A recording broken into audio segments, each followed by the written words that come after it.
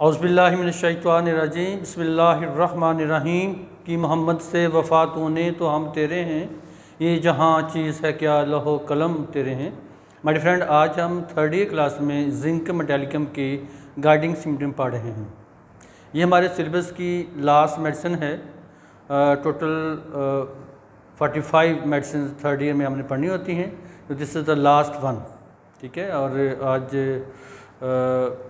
अप्रैल की पंद्रह तारीख है ठीक है 2022 ये हमारे सेशन का आज आखिरी दिन है और ये हमारी थर्ड की आखिरी दवा भी है। सो so, जिंक मेटालिकम हमारी बहुत बड़ी दवा है बहुत ज़्यादा इस्तेमाल होने वाली दवा है और ऐसे केसेस में जो कि इरिवर्सिबल केसेस होते हैं इसमें इस दवा का बहुत कमाल है। इसकी पहले से में पढ़ते हैं incessant and violent fidgety incessant का मतलब होता है कॉन्टीन्यूस वायलेंट फिजिटी फिजिटी का मतलब होता है रेस्टलेसनेस पेशेंट के अंदर एक अजीब सी मुसलसल बेचैनी सी रहती है। मुसलसल एक अजीब सी बेचैनी रहती है।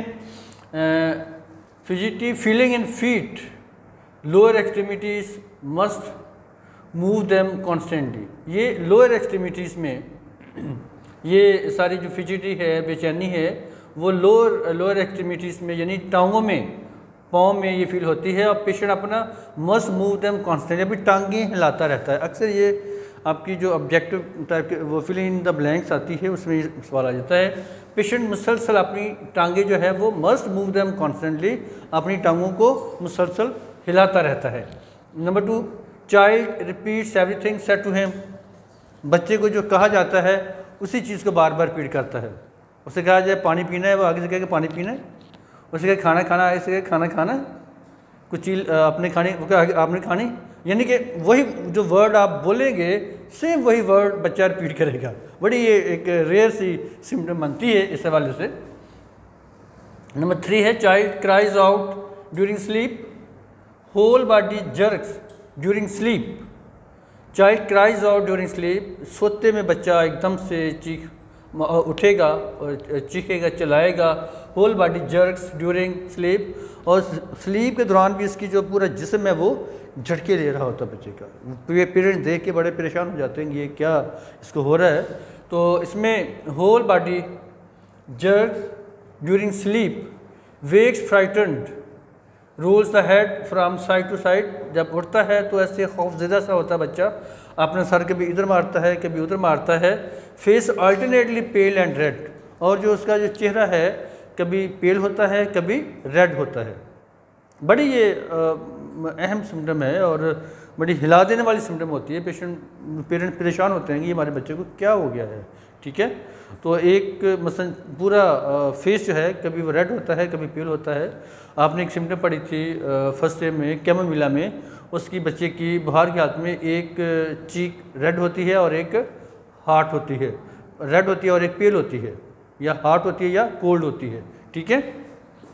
इसका पूरा फेस जो है, वो कभी पेल मिलेगा और कभी रेड मिलेगा। नंबर फोर है automatic motion of hands and head और वन हैंड एंड हेड ये राशा की सूरत में देखा होगा आपने कि ऐसे सर भी हिल रहा है और हाथ भी हिल रहे ठीक है? ऑटोमेटिकली पेशेंट के कंट्रोल में नहीं होता। या फिर एक हाथ हिल रहा होता है या सर हिल रहा होता है। ये लोग मोस्टली बूढ़े लोगों में आपने देखा होगा ना? बूढ़े लोगों में उनका सर भी हिल रहा होता है, ऐसे ऐसे साथ हाथ भी हिल रहे होते हैं। तो ये बिल्कुल इसी तरह की सिम्टम है। Chorea from suppressed eruptions fright chorea from suppressed eruptions या फ्राइट ये बहुत बड़ी सिम्टम है। कि पेशेंट ऐसी ही मूवमेंट कर रहा है। जो कि उसके कंट्रोल में नहीं है, ठीक है? अननेचुरल से मूवमेंट कर रहा है लेकिन उसके पीछे वजह क्या है?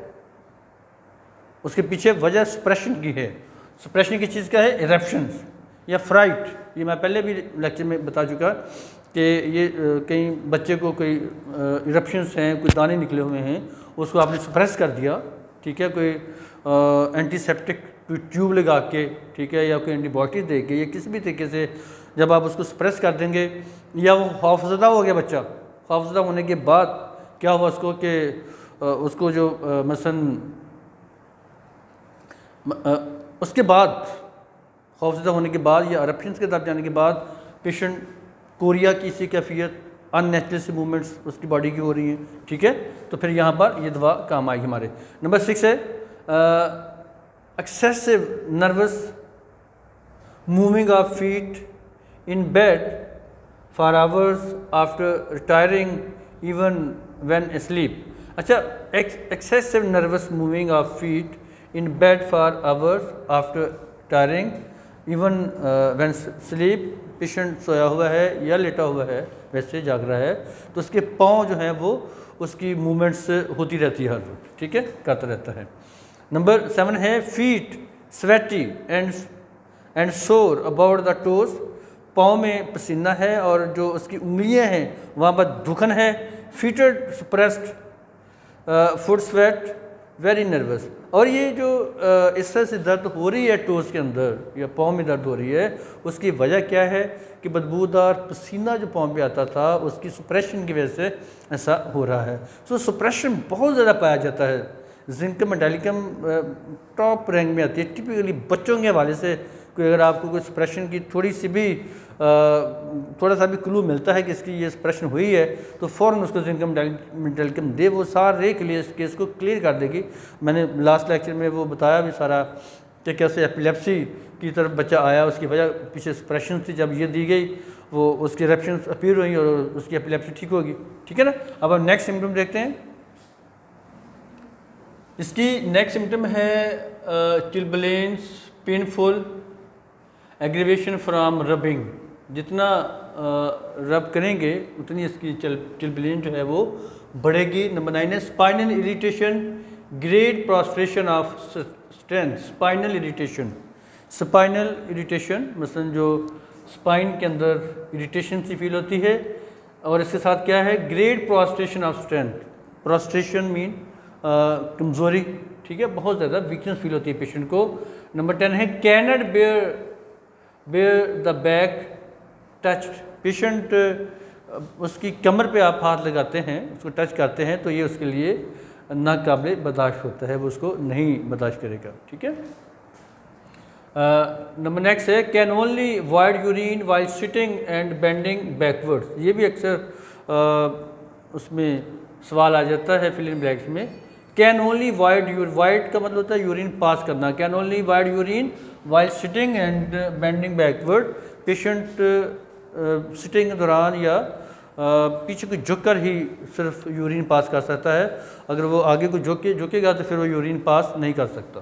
ठीक है? Can only void urine while sitting and bending backward number twelve है twitching and jerking of single muscles twitching and jerking twitching and jerking of single muscles twitching and jerking यानी जैसे फटकन और फट फटफड़ाहट ये मसल्स में सिंगल मसल्स के अंदर होती है, ठीक है? एक जैसे कोई आँख फटकड़ी होती है, या कहीं कोई मसल्स का कोई हिस्सा हुआ है, उसमें फटकन आ रही होती है ट्विचिंग हो रही होती है जर्किंग हो रही होती है, उसमें भी ये हमारी दवा काम आती है। नंबर थर्टीन है weakness and trembling of extremities of extremities of hands while of extremities of hands while writing during menses अच्छा ये बड़ी अजीब सी इसकी सिम्टम है कि weakness and trembling of extremities और मेंसेस के दौरान ख़वातीन को बहुत ज़्यादा वीकनेस हाथ पाँव काँप रहे हैं, ठीक है एक्सट्रीमिटीज़ टांगे भी टांग मसलन वो काँप रही हैं, हाथ भी काँप रहे हैं ड्यूरिंग राइटिंग जब लिख रहे होती हैं, बच्ची लिखेगी, खातून लिखेंगी तो उसके हाथ काँप रहे होंगे टिपिकली ड्यूरिंग मेंसेस में ये कंडीशन आती है। नंबर फोर्टीन है during sweat cannot tolerate any covering during sweat cannot tolerate any covering कि अगर पसीना आया हुआ है तो पसीने के उस दौरान कोई भी कवरिंग ही पेशेंट अपने ऊपर नहीं रखेगा। कोई लिहाफ है या ब्लैंकेट है, कोई भी चीज़ ऊपर नहीं अपने बॉडी के ऊपर रख सकता। नंबर फिफ्टीन है convulsions during dentition with pale face no heat except